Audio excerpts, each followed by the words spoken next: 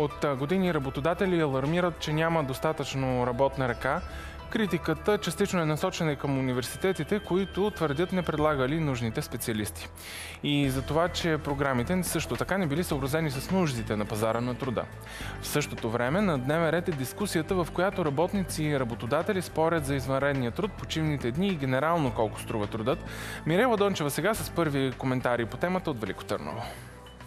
Здравейте от Велико Търново. Ние се намираме в Агенцията по заетостта и сега ще разберем от госпожа Бойка Ганева какъв е процент на младите хора, пък и хората от различни възрасти, които към този момент са регистрирани в бюрото по труда в Старата столица. Броят на регистрираните безработни лица и през месец февруари продължава да намалява сравнение с средното равнище за страната 6,2%. За дирекция Бюро по труда Велико Търново процента безработица е 4,2%, като за Велико Търново той е 3,2% за община Елена, които са прилежащи общини към Великотърновското бюро по труда е 11% и за община Златарица е 16,7%. Търсят ли през последните години съдействие младите току-що завършили специалисти от бюрото по труда, за да си намерят работа? Да, съдействаме активно на младите хора за устройване на работа. Активна е младежката заетост, схема от оперативна програма развитие на човешките ресурси и устройваме младите хора на работа. Нека отново да припомним чисто процедурно как се случват а, нещата. Как един човек млад, току-що завършил, може да намери съдействие от бюрото по труда, за да намери работа по специалност? С регистрацията в бюрото по труда младите хора са информирани за възможностите за устройване, информация получават за обявените работни места на първичен пазар и по схеми от оперативна програма развитие на човешките ресурси и по програми и мерки за заетост от Закона за насърчаване на заетостта. В този момент кои са професиите, в които има най-голям дефицит на кадри и съответно най-голямо търсене? Най-голямо търсене са проф... работнически професии и бих казала, че без квалификация работни места имаме обявени. А, работник а, дърводелски услуги, а, оператор шевни машини и общи работници. Такива са обявените работни места. А как си го обяснявате това нещо? Защо се получава този дефицит на кадри в тези сфери, промишлени? В принцип с намалялата безработица. А, освен работническите професии в промишления сектор, както казахте вие, какви други професии, в кои други браншове има така голямо търсене? Ами в строителния бранш също се търсят работници. Услугите също. Кои са така по-редките професии? Които пък търсят съдействие при вас за намиране на работа?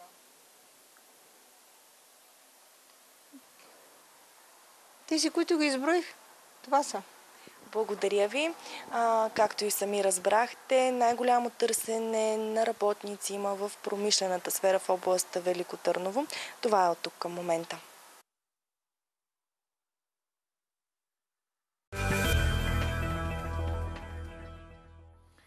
Разговора в студиото днес продължаваме с Жасмина Сарева Нова от Българската стопанска камера и с едни данни, които ми се иска да изговорим. Преди това да кажа, че Агенцията по заедостта, знам, прави едно допитване до всички работодатели за това какви работници трябват на пазара на труда. Даже днес е последния ден, в който се събираха тези данни, ми се струва. Ние говорихме с агенцията, но нямаше а, техен представител, който да дойде да ги изкоментира, пък и твърдяха, че не са готови с обобщение на данните.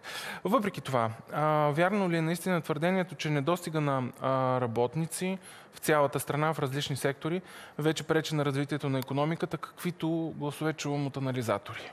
Здравейте! Действително пазара на труда се променя така както се променя цялото общество, както се променя съвременния свят и действително вече започват да се променят и изискванията към работещите, към работниците, към служителите.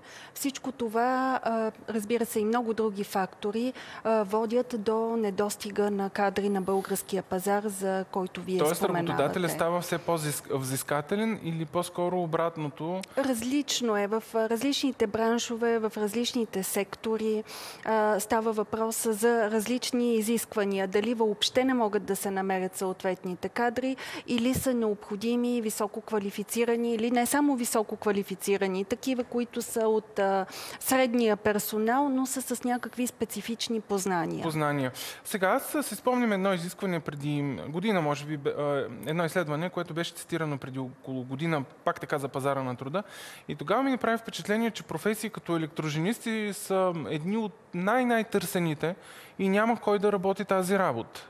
Така ли наистина? Продължава ли тази тенденция толкова, а, може би, непопулярни професии да са сред а, тези, в които има най-голяма криза на работници. Да, така е. А, става въпрос, че има професии, към които особено младите хора не проявяват интерес. Не проявяват интерес. А, дори това може би са професии, които а, в годините назад а, са имали своите кадри, но постепенно и самото образование, обучението а, са били а, насочени в една малко по-различна посока и много млади хора не са се насочили към тях. Но а, тук може би трябва да се каже, че а, промените не, не се отнасят само до такъв тип професии. Вчера бях на едно представяне на Министерство на труда, да, на данните, доклад, които който е за заедостта. Да. Чух и, там чух Петков. един много интересен пример, който бих искала да споделя с вас, че доскоро в IT сектора са били изключително търсени онези IT специалисти, които правят кодовете. Uh-huh. Но вече в днешно време, последните години, има роботи, които а, изготвят по-качествени, по-добри кодове. И вече тази професия от IT сектора, който винаги е приеман като един от най-търсените, най- най-добре платените. най-добре платените, изведнъж тези, които са се занимавали с тази а, род дейност, вече те започват да стават малко по-малко търсени.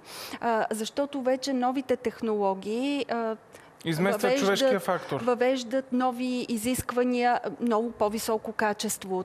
Така че въпроса с квалификациите, качеството, гъвкаво, гъвкавостта на служителите и на, изобщо на работещите няма как да не влияе. Добре, да, но можем ли тогава да говорим за изцяло изчезващи професии? Ето вие казвате хората, които пишат кодове. Сигурно можем да дадем и други примери на професии, които изчезват и може би след години въобще никой няма да се нуждае от Или постепенно кадри. стават по-малко да. търсени. Така е, има подобен тип професии. Тук вече ще говорим и за преквалификация, за допълнителна квалификация на хората, които са заети. Например, може да се кажат дори на туристически агенти, защото в тази сфера вече има достатъчно електронни платформи, от които хората започват да намират местата за дестинация също така библиотекари, книжари постепенно също могат да бъдат... То, те не са изместени, защото винаги книгата на хартия ще има своето място, но с онлайн библиотеките, онлайн книжарниците, също по някакъв начин те биват ще по-малко търсени като професии. пред необходимостта за една преквалификация. Като да, въпросът е дори... обаче кои са професиите на бъдещето, като говорим за тези, които изчезват, как според вас ще изглежда пазара на труда след 5, 10 или 15 години? Може ли от сега да прогнозираме кои ще са професиите, които работодателите ще търсят? Разбира се, винаги могат да бъдат някакви, правени някакви прогнози, а в крайна сметка може реалността да ни, да ни постави пред една различна ситуация, защото и в момента това, което е изглеждало като фантастика преди 15 години, в момента вече е реалност. Например, е. автопилотните коли и много неща, които те първа и тук пък е паралела с шофьорите, които в бъдеще може би също до известна степен степен ще бъдат изправени пред определени как ще се развива. предизвикателства. Разбира се, професии, и това са си и класически професии, каквито са здравеопазване, образование. Да, да, ма, като обсъждаме данните бъдеще. на министъра, които бяха цитирани, казвате, на тази конференция, гледам, че през 2032 година прогнозата е, че най-много ще се търсят продавачи в магазини. Това е свързано и с а, дяла на услугите а, в а, нашата економика. И тук, а, може би, трябва един момент да се отбележи. Това и друг път е заявявано от Стопанската камера, че, че за съжаление много хора, много млади хора по някакъв начин се страхуват да бъдат предприемачи а, те самите да създават някакво производство, нещо, което а, да бъде техен продукт а, и те предпочитат една сигурна заплата в някаква подобна сфера, пред това да поемат да сами рискуват. рисковете. А това е изключително важно и тук мога да кажа, че Стопанската камера прави всичко възможно, за да може да достига информацията до много по-широк кръг и от а, млади хора, от а, различни обучаващи се хора за това какво се изисква от един предприемач, какви са рисковете, но и какви пък са положителните, положителните. страни. Искам и да дори питам... във връзка с това от съвсем скоро, това е първият брой на новото списание на камерата, което се казва а, което което вътре ще съдържа информация, която е точно предназначена за хората, които са готови да рискуват, но да създадат... Да излязат сами на, на, на пазара и да създадат свой бизнес. С няколко думи да кажем, понеже отново се заговори за кризата на персонал по морето, вероятно и при вас има вече индикации за това. Ще успее ли туристическия бранш тази година да покрие най-важната част от персонала, която ще е необходима за обслужването на туристите? Ще внасяме ли пак работна ръка от Украина, от Молдова? Това е наистина проблем, който съществува от, от години. Във връзка с това бяха направени определени предо предложения и след това част от тях приети като промени в законодателството за вноса на а, чужди кадри, също така за възрастта на заетите а, Въпрос е, ще успеем бранша. ли да се справим с тази криза? А, по, убедена съм, това вече и като лично качество, че в лично качество, че хората, които са в този бранш, ще направят възможното, но това не е леко да се намерят подходя, подходящите кадри. Добре, благодаря ви за този разговор. Ние се връщаме към Мирела Дончева в Великотърново. Разбирам, че сега с нея ще говорим и за липсата на кадри в строителството. Здравей, Мирела, отново. Здравейте отново от Велико Търново. Ние се намираме на един строителен обект и сега ще ви срещнем с Томи Томов, който е дългогодишен строителен работник. Здравейте, кажете ни от колко години сте в този бранш? 15 а, как си обяснявате недостига на кадри в сферата на строителството? Предвид това пък, че наистина в момента пак се намираме в възход на строителството. Най-вероятно, защото няма кадри от... Те хората се заминаха вече. В чужбина работят. Не мога да ви кажа точно. Има ли, няма ли кадри. Аз работя на частна практика и нали ви казах. Колко години работите на частна практика? 15 години. Какво каква точно част от строителството изпълнявате? Вътрешно строителство, фаянс, теракот, основно. И шпаковки. Имате ли много обекти, много ангажираност? Ами да ви кажа честно, почти не се спирам. По-високо платена ли е тази работа в чужбина? Казахте, че хората, вашите колеги строители... Доколкото знам, защото съм работил в чужбина, се изравняват почти. Защо се? Сядък заплащането е по-добро. Но не знам, преди 10 години, като са заменали хората, може и да не искат да се връщат повече, не знам. Вие защо се върнахте в България и решихте да продължите да се занимавате с професията си тук? Там съм се учил да работя, по принцип. Ми, по стечение на обстоятелства, нямам обяснение. Дойдох и повече не съм отишъл там. Има ли млади ваши колеги, с които работите? Много млади момчета има. Много млади момчета. Вие самия има ли на кого да предадете занаята си? Ми, редовно, като е по-голям обект, като вземем помощници, след време стават и майстори. Самата трудоемкост на работата също ли може да бъде причина така професията да не е привлекателна за много хора, да има недостиг на строителни работници? Трудоемкостта не е причина. Ние работим на частна практика и обикновено каквото свършим, това се вземеме. Вече които са към фермите, там взимат някакви заплати, някакви надници. Не са, не са малко по принцип и парите, но работата е обемна и иска повече време, повече старание, повече съвест. Така, ако сравните с преди 20 години, повече майстори ли имаше? Преди 20 години не съм се занимавал с строителство. От 15 години се занимавам с строителство. Чувал съм, че имало доста майстори, когато беше бума на строителство преди 15 на години. Сега не знам. Добре. Благодаря ви.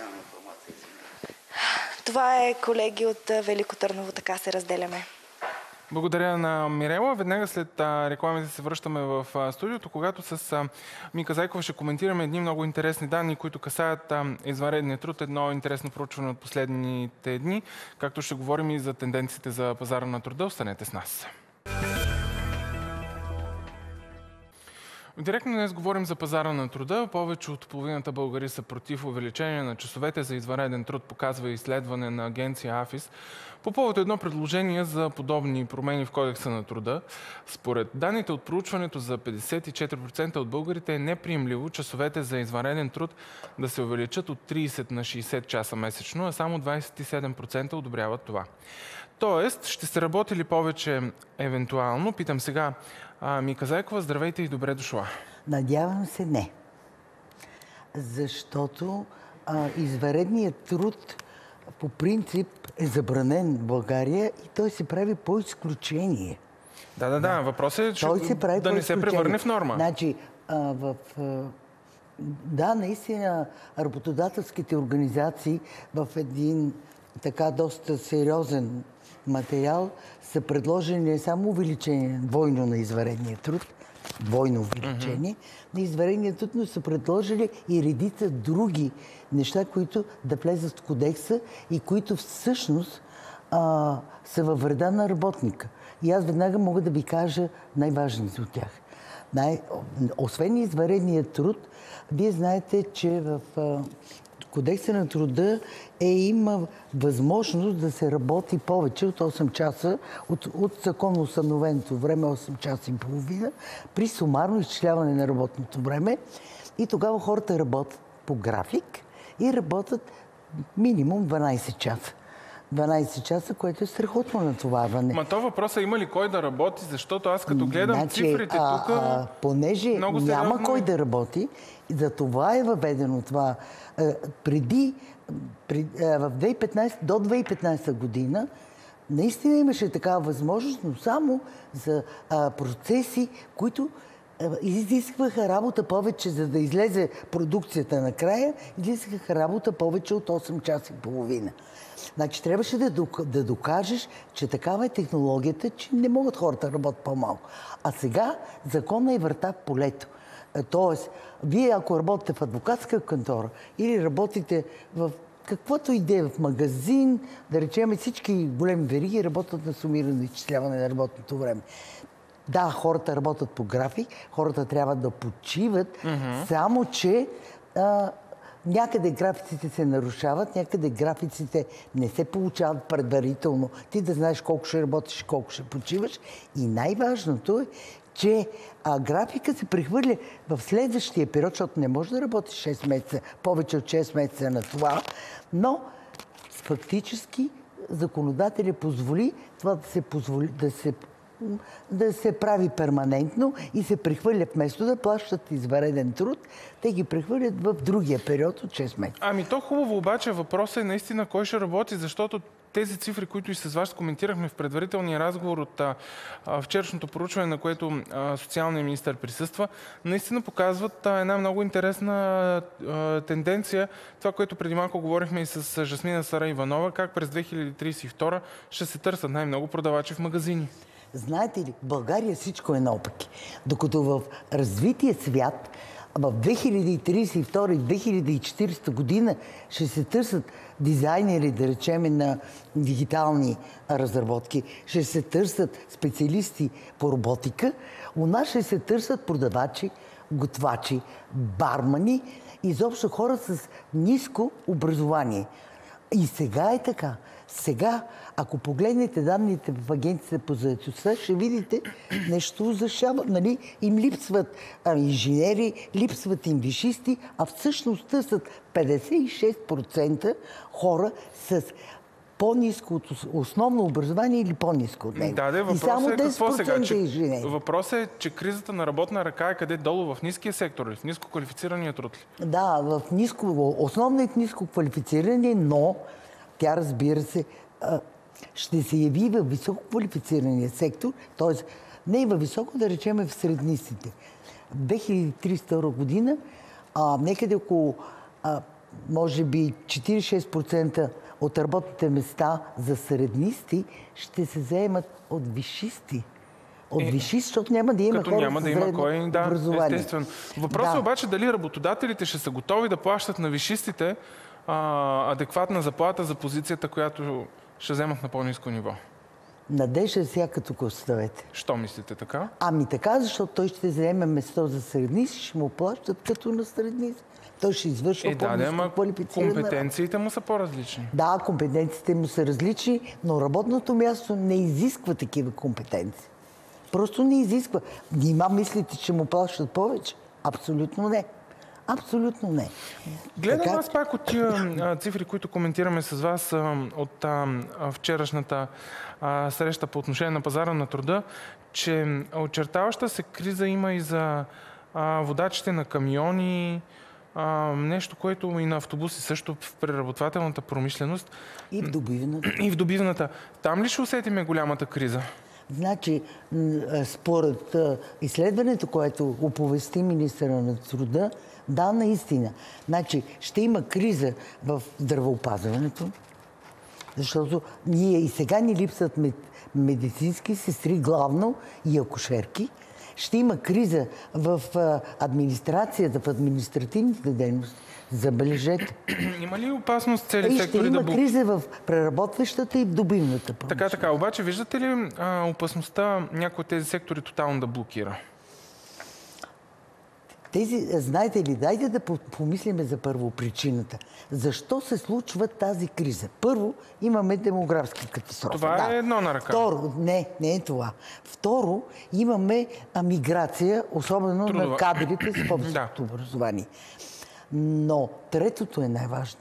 Третото е защото България във всичките си области, съвсем малко области има, в които, да речеме, в услугите, където има част от IT сектора участва, България има технологическо изоставане. Ако ние вървяхме в крак с четвъртата индустриална революция, тук вече трябваше да има инвестиции, да, имаше нови технологии, които изискват по-малко човешко участие в производство или в услуга. Е, това са едни цифри, които тук гледам сега, коментирани от а, различни неправителствени организации и економисти, че недостига на работници всъщност забавя развитието на економиката.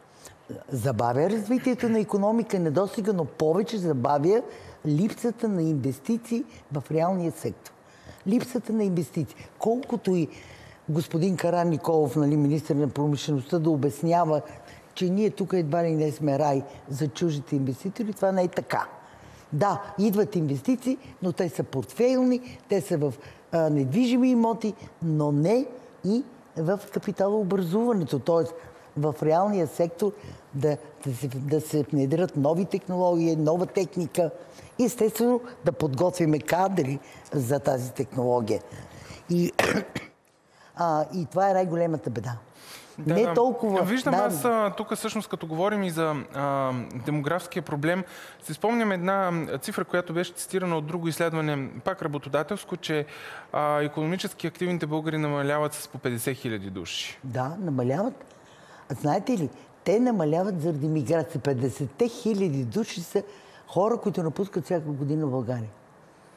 Напускате млади хора. Въпросът има ли такива, които се връщат? Ние застаряваме. Ние застаряваме. И а, фактически уменията на по-възрастните хора не могат да покрият изискванията на новите технологии. Нека да не се заблуждаваме сега. Нали? Не е се... Моята внучка а, си играе с таблета от 3 годишна възраст, а на 3 години, докато за баба й нали, да, иска по-големи усилия, за да работи на компютъра. Така е. Добре, благодаря ви за това участие. Отиваме сега към един много интересен репортаж, който идва от региона на а, Ямбо. Една много интересна история за една жена, която точно днес празнува своя 101 рожден ден. Нека да видим този репортаж сега.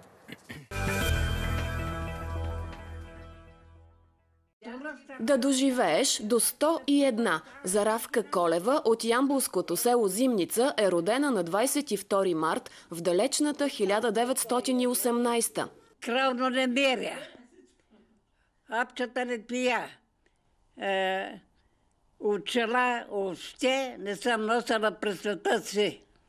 Ракия кусвам, вино кусвам, бира кусвам – Кото ме дадат, от нищо не отказвам. От нищо. Има ли тайна за век и отгоре живот? Тайна каква, каква да я кажа? Не знам, ти кажи.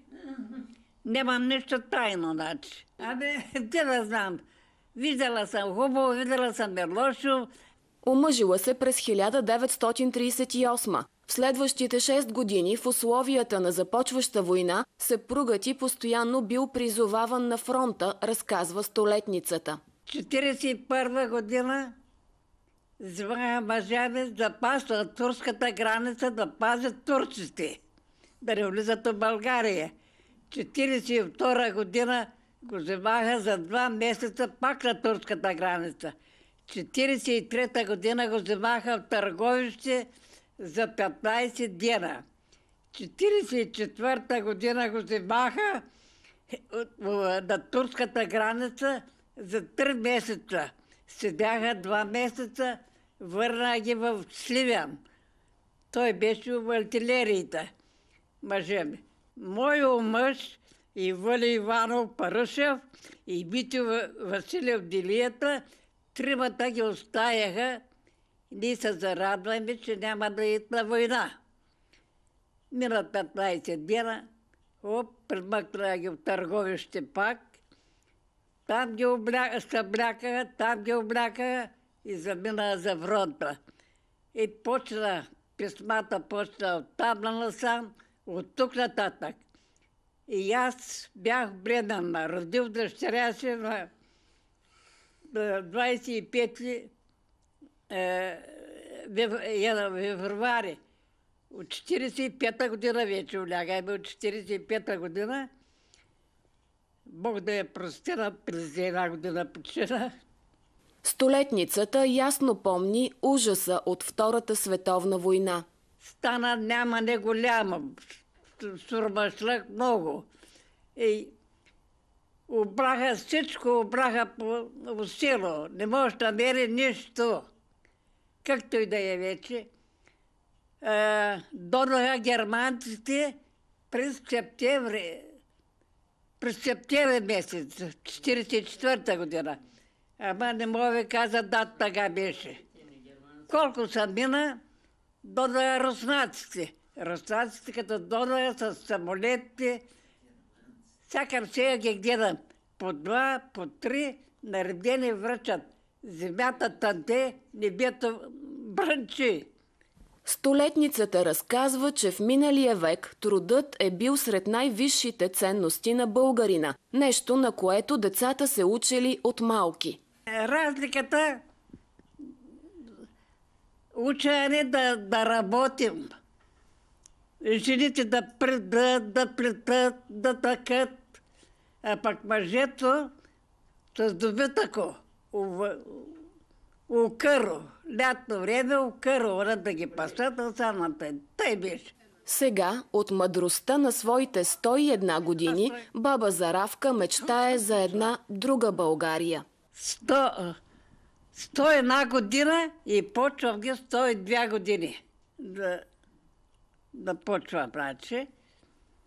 Е, живота ми но време беше друго, пък сега съвсем друго става. Искам всички хора да, да поживеят и да се завърнат в България, да се народят деца и, и държавата да порасне. Той искам.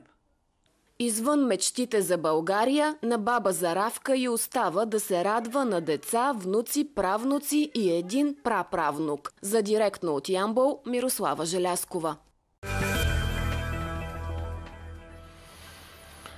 Този интересен разказ завършва директно днес. Коментирахме пазара на труда и още малко интересни данни. Анализатори твърдят, че въпреки липсата на търсените служители, ръста на заплатите у нас се забавя. А освен това, заради емиграцията и застаряващото население, работодателите изчисляват, че всяка година економически активните българи намаляват с близо 50 хиляди, а пък само за 2018 работещите у нас са се увеличили едва с 2000 човека. Така, завършваме темата, може може да обсъждате и на нашата фейсбук страница. Сега останете с нашата програма.